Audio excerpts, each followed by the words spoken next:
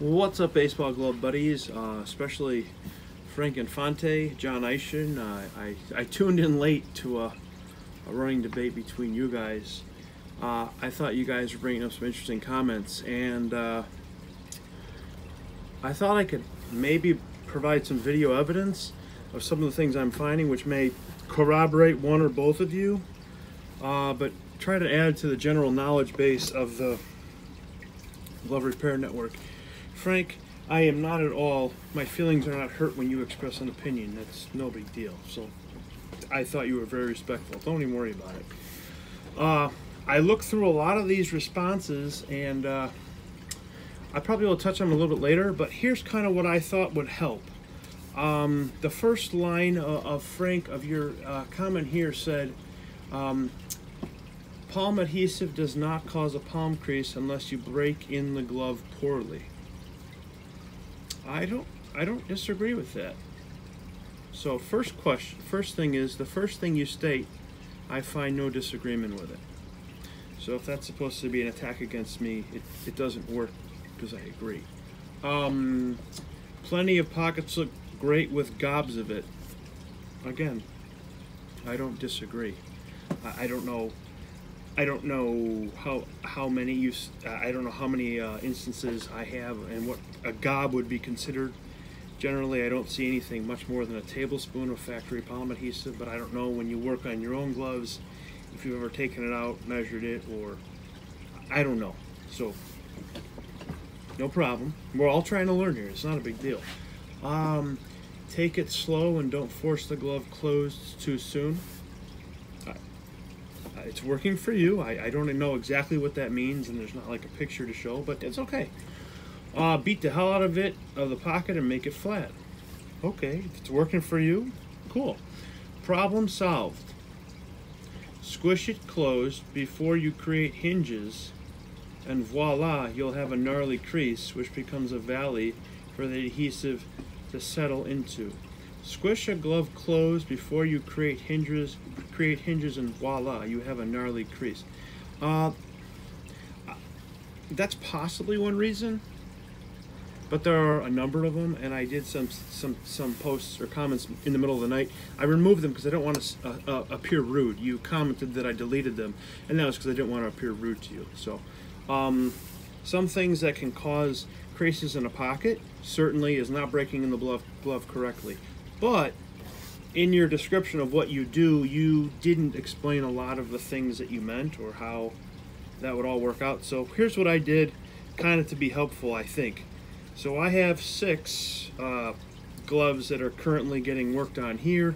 They're stripped of all their lace. This happens to be a custom 1788, custom A2K B12, straight M1 catcher's mitt, a new with tags or new without tags, uh, 1786.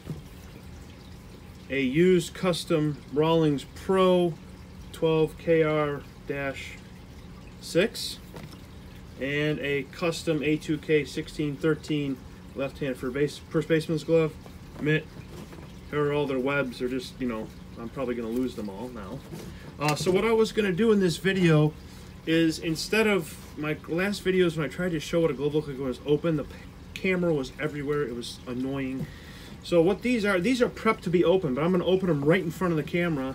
So if someone says, oh, well, he just doctored us before he took it, you can't because you're going to see me tear these open right now. But I'm going to go through these one at a time and make some comments about the used ones. So four of these are used. Two of them are barely used. So take a look at this A2K and I don't know if the light angles show it clearly but you may see a bit of a ridge here and then one that comes up around there okay? Um, this would be an unusual place for um, someone to actually cause strain in creating a pocket. This is quite unusual. There's a ridge up in here but I'm just noticing it's there and then what you want to do is look inside before you take it apart and see if the palm, okay, also has matching undulations on it. When you do that, you can sometimes tell if the palm adhesive shifted before the glove was broken incorrectly, or the palm adhesive moved, thus defeating the ability to break in the glove correctly. Because Frank, what you've said is that a lot of gloves that gobs of palm adhesive come out fine. That's not something that anyone would disagree with. But what you aren't proving is that when uh, gobs of palm adhesive are taking out, it results in creases. In order to attack what I do correctly, that's what you have to prove. But you didn't make any statements that hinted at it, and you didn't show any proof that that exactly is what you're finding. So this is an attempt to show both sides of this as clearly as I can and look for possible reasons. So there's the A2K. Um, so let's open these. This, oh, oh, sorry, explain. So here, this is an unusual pattern here because we have a huge amount of abrasion right here. That's just rub, okay? It's an abrasion rub. But if we look inside, and this has a strap back, so it's a little harder. If you look inside, you'll see an enormous hard, hard edge inside here. I'm running my finger along. Can you see in there? Each of these fingers, you see those molded up ridges inside?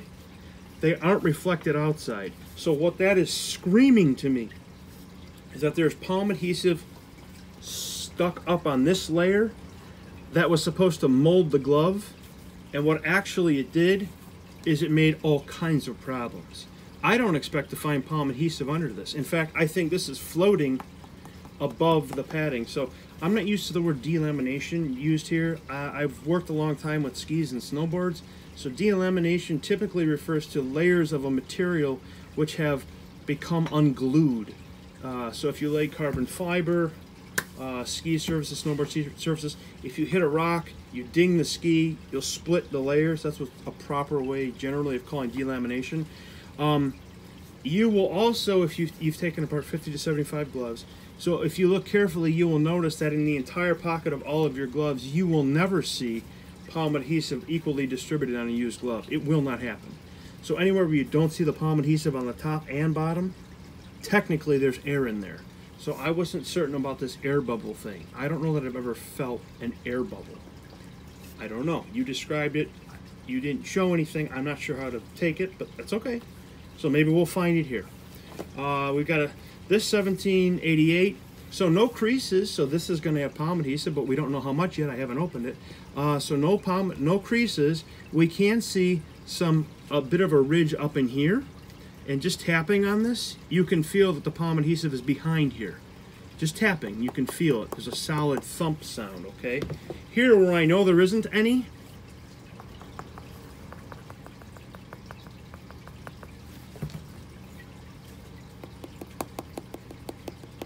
different timbre, right? You can hear the solidness. That's palm adhesive behind there. I'm pretty sure, but I haven't opened it. We'll find out together. Uh, over here, original palm, factory palm adhesive is in there. Do we see any creases? No. So is it is your uh, is your claim that factory palm adhesive does not necessarily cause creases? Is that an accurate statement? Yes, it does not necessarily cause them. But have, can we prove that taking it out initially does cause them? That would be where you have to take gloves apart yourself, remove it, play with it, and see if they form. Okay, that's how you would prove it. You'd have to do work on it. Anyway, so here, let's open these up. Start with the A2K. Hold on. I'm literally pulling these open right now, so I might have to make a couple of uh, last lace cuts. So you remember you gotta, when you're doing these, you gotta make sure that you cut all the laces. So here's the inside of an A2K. We're gonna pull out, I hope this is all in the frame, but there's only so much I can shoot at once. There's the finger and the thumb. So in an A2K, we have this internal leather piece, and on the back side, we will have palm adhesive. So I'm going to pull this down.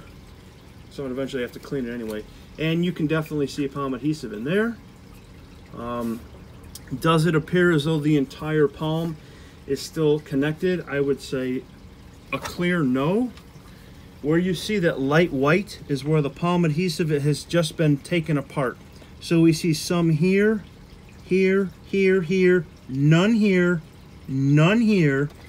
Okay, so the idea that a, a glove with factory palm adhesive, when it from the factory will come with all of the surfaces touching with one glove is proven not accurate. Now, let's pull it down.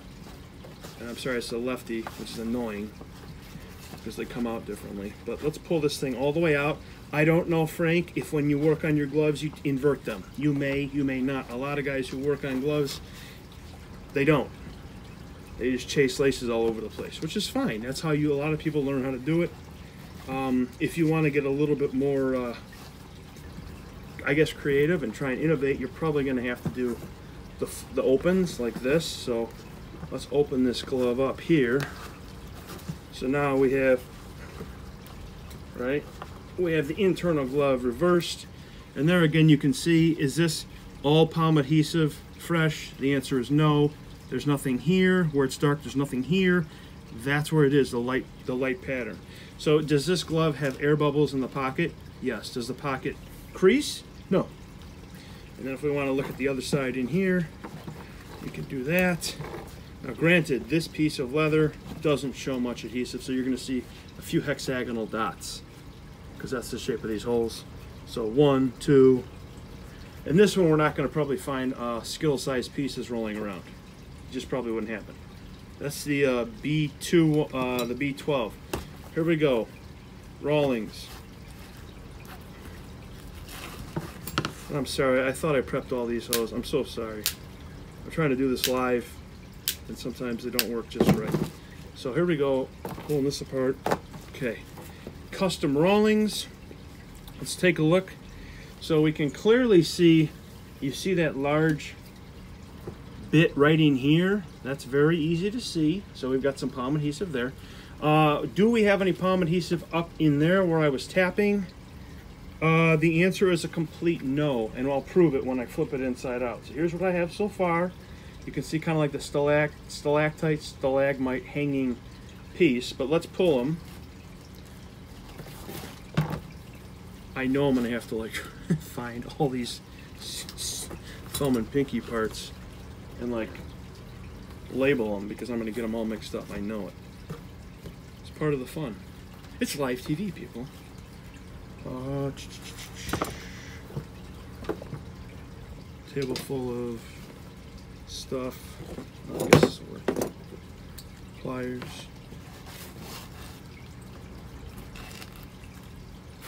Okay. I'm going to turn this inside out. Remember, pinky, ring finger, middle finger, index fingers last, then thumb, and boom, inverted. just tug it inside out. Don't worry, you're not going to hurt anything. This is actually pretty, pretty sturdy material. Okay, so now let's take a look at the inside of the glove. Now on that previous A2K, we didn't see much damage to the felt. Okay, we didn't. Felt shows very little damage. So these pieces aren't ragged or torn away. There is palm adhesive stuck in here, okay, but they're not shredded out. Check out the Rawlings. Now, now you will begin to see why I take it out of stuff. That's palm adhesive here. If you can see, that is a torn off piece. This has been split and yanked down.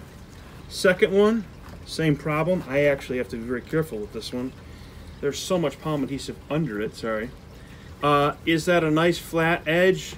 No, it is ragged and crappy. Third finger. That's how you get it off, folks. It works. It's just gross. Third finger. Adhesive in there. Not so bad, but I have to clean that crap out of there. Okay, so here's one counter argument to your position. Palm, factory palm adhesive, if left in a glove, will damage the felt. There are no questions. I'll show it again and again and again. But if your claim is that my method isn't as good, then you are going to have to figure out how to keep this from happening. Because it will happen, not sometimes, it'll happen all the time. It eventually occurs unless you can remove the factory palm adhesive. Okay? That's a strong. And a point which you I don't know how you could prove wrong but again, I don't know any videos by, you know, that you have. So we'll take a look up in here and we'll see that the area with that white spot is what I guess you would call delaminated. It's floating. Uh, the reason it's floating is because the palm adhesive, uh, which was stuck in here, eventually tore off the felt and there's no tackiness. That's why it's floating. So, how did it develop? Hard to tell. Did they break in the glove wrong? Hard to tell. Is the palm adhesive in places it shouldn't be, like way over here? Yes. I can't tell what caused it, but I can tell by the palm adhesive. The palm adhesive is the thing that's damaging it. So if you remove the thing that could damage it, how can you retard the process of breaking in the glove? I just don't understand it. Uh, here's the 1788. Custom 1788. So we can see on this glove what you would call a low degree of delamination, pretty sticky all the way across. You can actually see these, again, the stretchy marks. Let's pull the pinky and thumb. And real quick, let's invert this, double check. The key is we're trying to look for actual examples, not hearsay, not opinion, but what the heck's inside a glove. And it's not as though I don't, I'm speaking now like just to anybody who who offers challenges. Uh, this group used to be a lot of, hey, who do you know and who taught you? It's turning into what it should be. Prove it. Prove it. Show it, prove it. And that's good. Because you cannot learn with people who just throw opinions out and then walk away.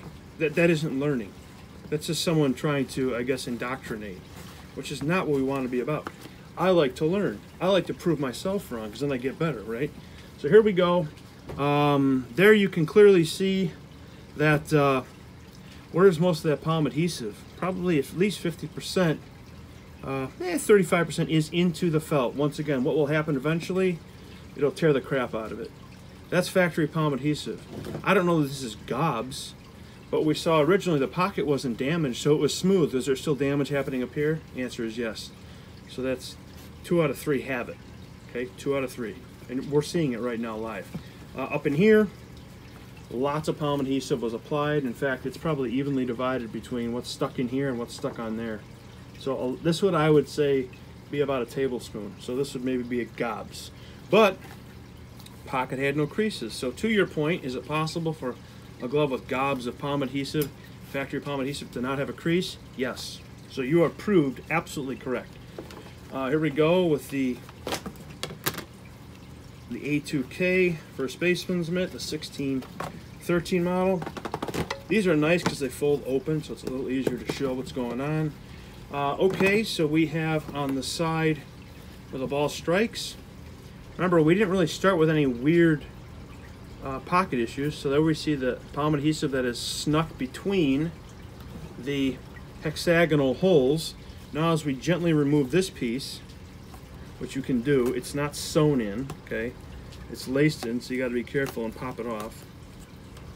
What we'll see is a lot of palm adhesive behind it. Okay, uh, so remember, where are we catching balls in a first baseman's mitt? We're catching them in this area, correct? So we'd expect to see palm adhesive here. But palm adhesive that isn't in that area would be examples of palm adhesive, factory palm adhesive that had migrated through the pounding flat. So when you say pound it flat and your pr problems are over, not exactly, because let's take a look. Where is the palm adhesive where it doesn't belong?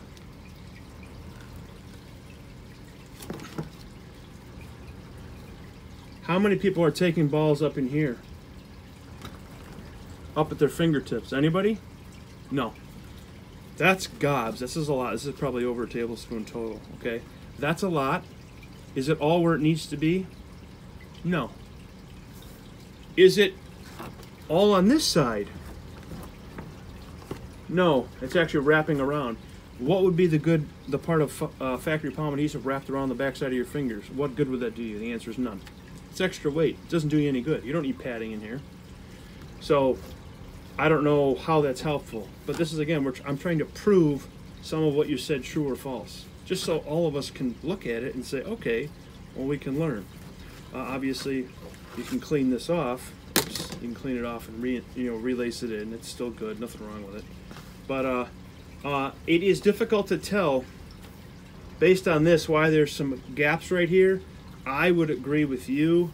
It looks as though there's no palm adhesive behind it. This would be a section where you called it delamination uh, let's try and think of a better word that isn't like that. Um, where let's say there, there's there's uh, no no factory palm adhesive on both sides. That's probably a little more accurate. I don't know a short word for it, but there wasn't any here, hence that little bit of a wiggle. So, not having factory palm adhesive may have caused that wiggle. So that's kind of a point toward your interpretation of what's going on here. Uh, so there's the 1613. This table is getting messier by the moment. Uh, we got two more here. So we've got a new without tags. So this is not a used glove. 1786. When they're new without tags, you will see me straining because it's brutal getting this these things to open. Take out the and again, Frank, I I would love to like whatever uh, channel or whatever. If you have a lacing thing, I'm more than happy to like and follow it. I try and do it with everybody on here. Uh, I don't know if you do that. I just see your name pop up in a lot of forums, and you're big in the world of collecting and glove knowledge. So I'm trying to ascertain if the knowledge that you're that you're sharing with me is based on experience or is it more anecdotal? I don't know. So anecdotal obviously is based on a story. Uh, experiential is based on an experience, and what I'm trying to do here is uh, do kind of like active experiment, so everybody can see. So here we go, 1786. Lots of factory palm adhesive. The glove has never been used. It had no crease. Okay, no crease. No usage, no crease. I'm gonna pull it out.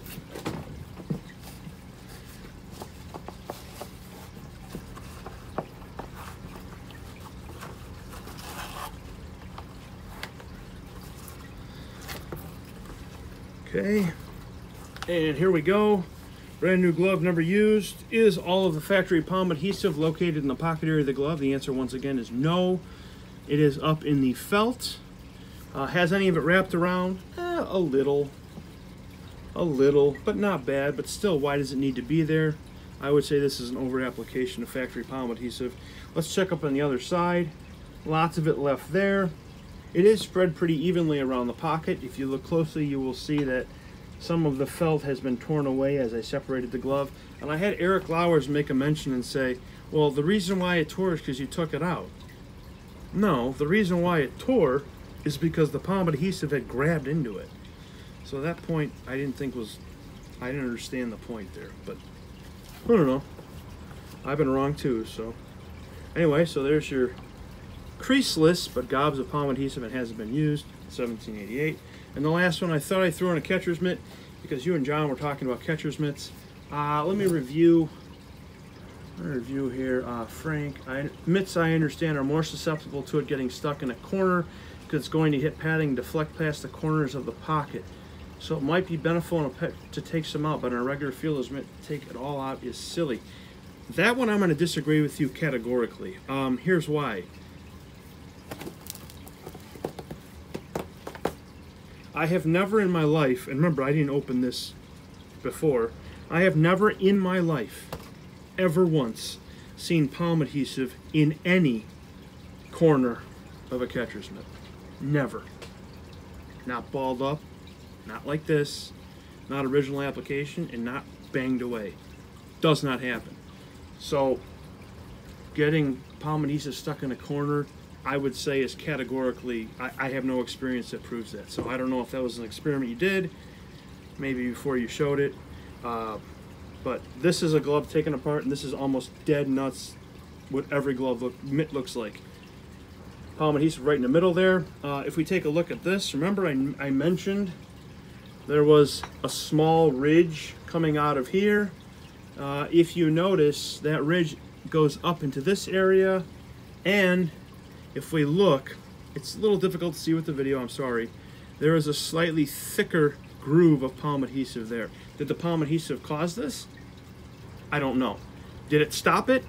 No, there's there's the problem. It doesn't stop it. So banging it harder may or may not do anything. So I, I, I I'm trying to prove myself wrong, prove you wrong, prove any of us right, all at the same time, trying to do the work. So then here's how you, you obviously take it out, but um, so yes, uh, palm adhesive in a catcher's mitt is in, incredibly annoying because what happens there is I'm sure at, at catcher's mitts that you've worked on, you've or you've played baseball and you've seen a catcher with a new mitt and all kinds of balls are popping out of the pocket. Well, here's why. This plus this equals a surface that doesn't shed shock, shed impact well. It reflects it.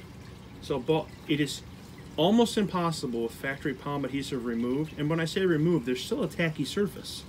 So you don't get a bunch of pieces just floating one on top of each other like it seems, it sounds like you think might happen. It doesn't happen. This surface still sticks to this one. It's just able to flex and move a little bit. So as the ball strikes it, both surfaces are able to adjust to it independently. That kills and deadens the uh, actual velocity of the throw, which allows you then to have the ball not pop out. You want to figure out why your glove or your catchers or your kid with his brand new catcher's mitt is dropping everything. There it is. Take it out. They'll be able to catch. It's remarkable. It works every single time. There's a catcher's mitt. Uh, that's all my mitts. So hopefully, I mean that's a lot, uh, a lot of pull aparts, but hopefully new and used and uh, things that cause palm creases. Big ones, you didn't really mention them, but that's okay. Um, if your hand is too large for the glove and you're wearing it, do I have a glove that's together? No, of course not. Um, let's say I had this glove and I wore it. I'm going to get a glove. I have to to show you this. So, let's say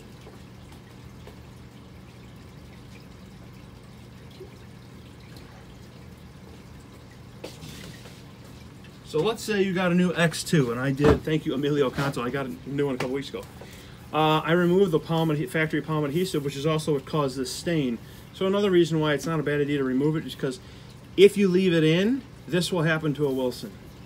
So, Frank, I don't know if you're a Wilson collector. Maybe you're a Rawlings guy. You were talking about a Primo. Um, Rawlings uh, palm, factory palm adhesive recipe doesn't react with their leather the same way, so it doesn't leave those blotches. These are caused not by oil. Nobody poured oil on it. Everybody thinks it's oil. It's the factory palm adhesive. So leaving it in, you'll get this. Guaranteed. That's another reason to take it out. And you're a collector, so you would appreciate how to keep your glove looking great. All right. This is an X2. It has no factory palm adhesive. It's mine. Okay, so I've been using it. Um, so closing well, carefully, look carefully. No creasing in the pocket, no factory palm adhesive, okay? So is it possible to produce a glove that has no creases without factory palm adhesive? Yes. All of my gloves, I can take them off the wall, they look the same. So that's several examples that would suggest that taking fa- factory palm adhesive out does not mean you're to get creases. But some of the reasons you can get creases, let's say you jam your hand too far into your glove. This is one of the biggest things that drives me crazy when I fit gloves for people. If you're taking your hand and you're smashing it in there, you're to be fighting against your own hand. That's the ergonomics of putting your fingers all the way into a glove. You turn into this. Will this cause a crease? You better believe it. I did it in two squeezes right there. Did you see it? Crease right there. See it? And there's just a little tackiness inside, so it shows up. Now, if you're wearing a glove correctly, you should be seeing quite a bit of your wrist. Okay? This is not how gloves are supposed to fit. They don't fit like this. A lot of people think this. That's not how your glove's supposed to fit. You wear your glove like that, you'll have all kinds of crappy pocket action. Palm adhesive, no palm adhesive. Okay? Um, Frank, it would be nice if you did like a little tutorial showing some things that you uh, suggest when you're teaching people how to break things in. I don't know if that's your. I don't know if you've got the capability. I mean, it's a tripod, and I don't mind talking. Uh, I guess my last comment was, uh, you didn't. You said, this was a funny one. Uh, and no, I don't have videos of my relaces or teardowns. I don't feel I need to stand in front of a camera. I'm sitting, and talk about how great I am. Did anybody hear me say that? Did you hear me say that? So Frank, if you find me say that in any of my videos, let me know, please. I will delete the video. Uh, I have said, this is where I, I thought maybe this is what you might have heard. I have said I am very grateful to the Lord Jesus Christ for allowing me to lace gloves and uh, persevere through some really bad illnesses I had. So maybe you just heard the great, grateful. Um, there's your answer, Dave Wagner, even though he deleted your 3 a.m. comment. Okay, you don't have any video. vi- Okay, that's fine. So you don't have any videos of your relaces and teardowns. But in this group, you, you realize that we're trying to uh, expand our knowledge base as a group. And if you have nothing besides an opinion, expect to be cross-examined. Like, it's not a big deal. Nobody dislikes you. In fact, I've reached out to you and PM, friend request. I'll put my, uh, my, my cell phone numbers everywhere 847 899 5423. Anytime. I'd love to chat with you. I'm not going to make fun of you or anything. I don't think I did it in this video. And I don't think you're rude or anything else. I have no ill will towards you. I, I don't know you. I really don't know you. But, uh, anyhow, maybe th- those were some, maybe something in there helped clarify some of the opinion you have. So when you do say at the very end, the very end here, uh, Fred, the point of this post was more to quash the notion that it's a necessary thing to open up a brand new glove and take it out, or that it's the sole reason the crease happens in the palm. Um, I agree with you. It is not necessary to take it out. You don't. You're the one who's going to have felt that's going to get damaged later on, but it's not necessary. A lot of pros don't take it out. Doesn't mean it's not a good idea. It's not necessary to wear a bike helmet. It's usually a good idea. Kind of like that. Um, the sole reason the crease happens in the palm, I agree with you. Uh, palm adhesive is not the sole reason the crease happens in the palm. So we're in agreement on that. We're in agreement that in your first comment here, that uh, palm adhesive doesn't cause a palm crease. I agree with you on that. So the only thing, uh, the only thing I don't think you have proven, and I hope perhaps I've disproven, is that um, by removing palm adhesive, you will get a crease, or you will get layers of leather floating randomly. This feels very intact, very solid, and all it has is a wafer tackiness left over. So that's still in a glove that I work on, and